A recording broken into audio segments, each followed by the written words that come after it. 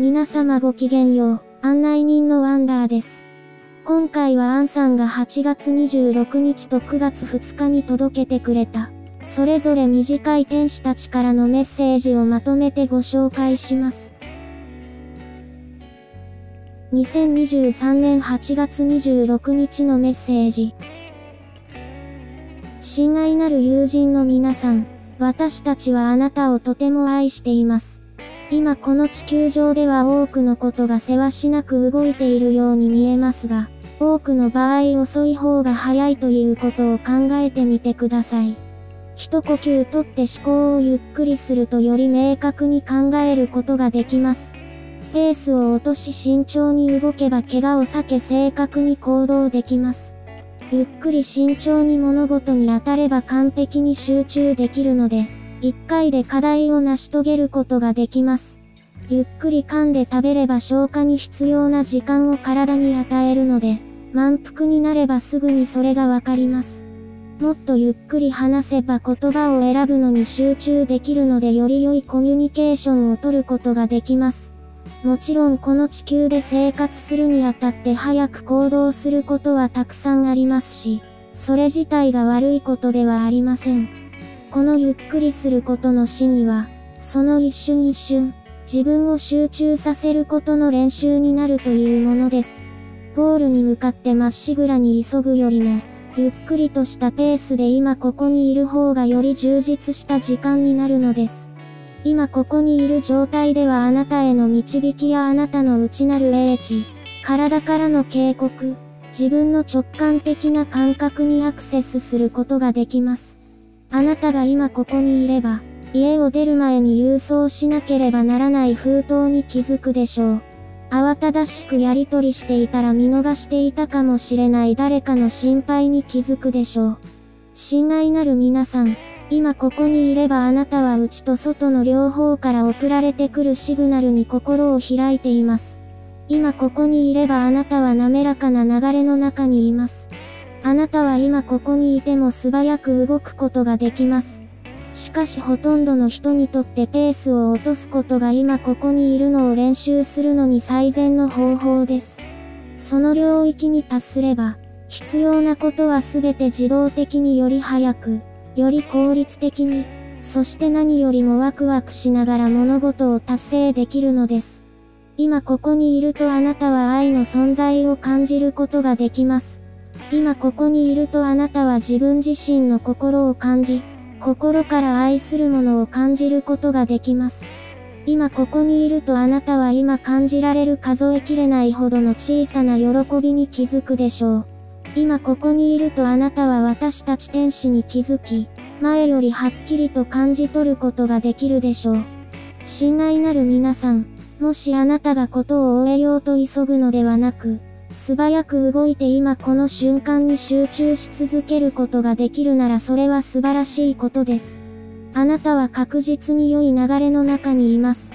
でももし心が空回りして今やっていることよりも仕事の終わり、あるいはその後のことに自分の注意がいっているのに気づいたらまず一呼吸してください。ペースを落としてください。周りを見てください。今ここに存在してください。今あなたは何をしていますかと自分に問いかけ、今に戻ってください。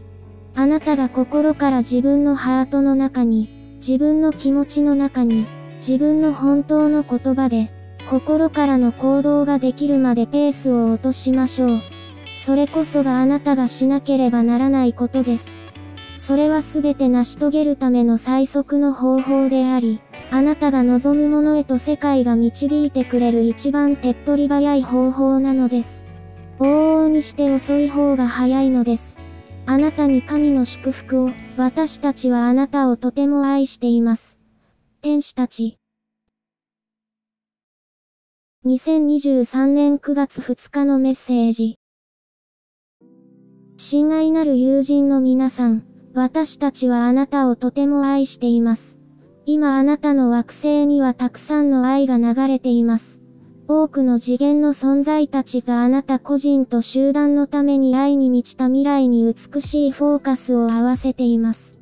天使たちがあなたを育みサポートするために待機しています。私たちは愛の周波数のみを広めています。私たちは常にあなたが望む次の愛に満ちた体験へと導く方法を探しています。私たちはあなたが望むあらゆる愛に満ちた物事や経験を手に入れるというビジョンにとどまっていて、揺るぎはありません。あなたが信念を揺るがせても、私たちは揺るぎません。あなたが愛に値しないと感じるとき、私たちはあなたの価値を知っています。あなたがほんの刹那でも愛から離れたとき、私たちはあなたを愛し続けます。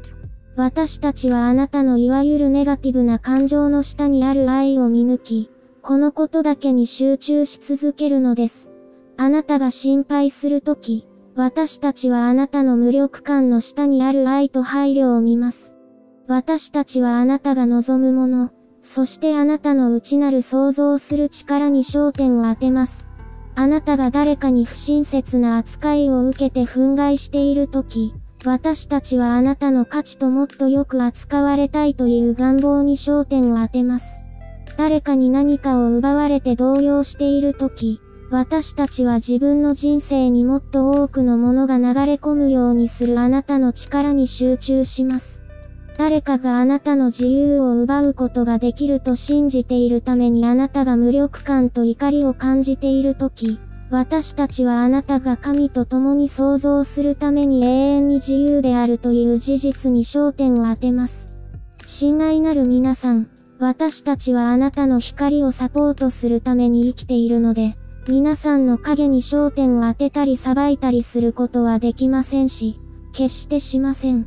私たちはあらゆる方法であなた自身の最高で最も美しい側面を映し出します。あなたが自分自身を見ているよりも私たちの方が親切で力強くあなたを見ていることがよくあります。あなたが良い感情に手を伸ばすとき、あなたは私たちの安定した愛の流れにも同調します。あなたは恵み、導き、そして善意に心を開くのです。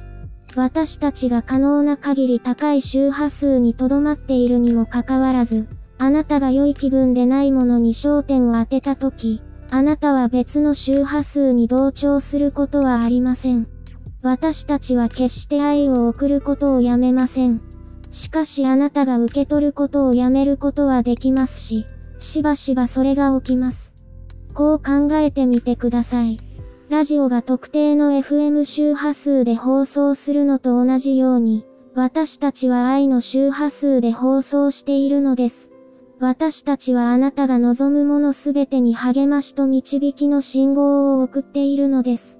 あなたが家を望んでいようと、人間関係を望んでいようと、より良い経済状態を望んでいようと、新しい服を望んでいようと、新しい方向性を望んでいようと、天国の放送は常にオンであり、常にあなたを助けようとしています。私たちは恐れ、疑い、心配、動揺、その他の低い波動は決して放送しません。私たちはこれらの低い波動に合うような状況や人々にあなたを送ることはありません。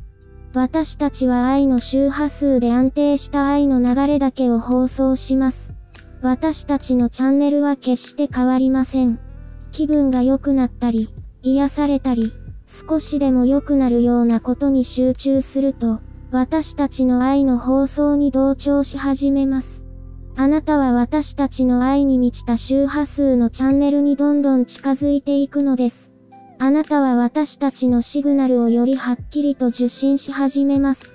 私たちの愛をより強く感じるようになります。そして何よりも私たちがあなたを見ているように、自分自身を力強く、完璧で、価値があるように感じ、捉えるようになるのです。朝のコーヒーの香りを楽しむとき、あなたは私たちの愛の放送に同調しています。そしてふと大事な用事があることを思い出すかもしれません。仕事に間に合うか心配するとき、あなたは私たちの放送に同調していません。交通状況をチェックするという私たちのガイダンスを見逃してしまうかもしれません。誰かがあなたに微笑みかけ、あなたが良い気分になった時、あなたは突然自分のハートが人の善意に同調していることを感じ、その瞬間すべての良い人間関係を引き寄せています。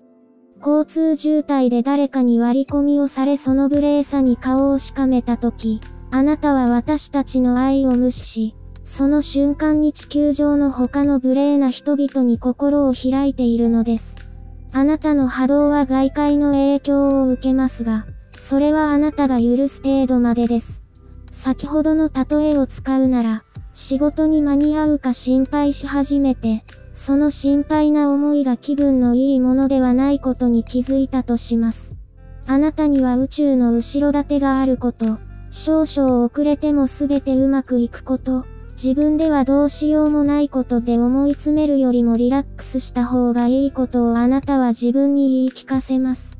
深呼吸をして気分が良くなります。すると突然交通状況を確認したい衝動に駆られ、いつもとは違うルートをとって、時間通りに職場に到着するのです。同じように渋滞でドライバーに割り込まれた時、一瞬反応するかもしれませんが、すぐに音楽やオーディオブックを聴くことに戻ります。その場合無礼に同調している時間が短かったので、世界からもっと多くの無礼を引き寄せることはありません。あなたは愛の放送に戻ったのです。あなたの一日はよりスムーズに流れるでしょう。親愛なる皆さん、私たちが何度も言っているように皆さんは自分のチューニングを選ぶことができます。私たちはすでに私たちのものを選んでいて、それは愛であり、愛だけです。あなたも自分自身を癒し、不快な考えから気をそらし、あなたが望むものすべてを手に入れることを望んでいる。愛に満ちた宇宙の腕の中でリラックスする練習をすることができます。あなたの世界は成長痛に見舞われていますが、あなたがそれに苦しむ必要はありません。より良い感覚を求めて手を伸ばせば、いつでも私たちの天国の放送を聞くことができるのです。私たちは今も、そしていつでもあなたのためにここにいます。あなたの美しいハート、美しい光、そしてあなたが望むすべての道に私たちのフォーカスは揺るぎません。あなたに神の祝福を、私たちはあなたをとても愛しています。天使たち。いかがでしょうか？このように別の日に配信したメッセージを合わせても、アンさんのメッセージはブレないので何の違和感もありませんね。今日もいい気分でお過ごしください。こちらで配信できないお話や、審査に落ちて配信できなかった動画などはメディアブルで配信中です。概要欄にリンクがありますので、ぜひ一度訪れてみてください。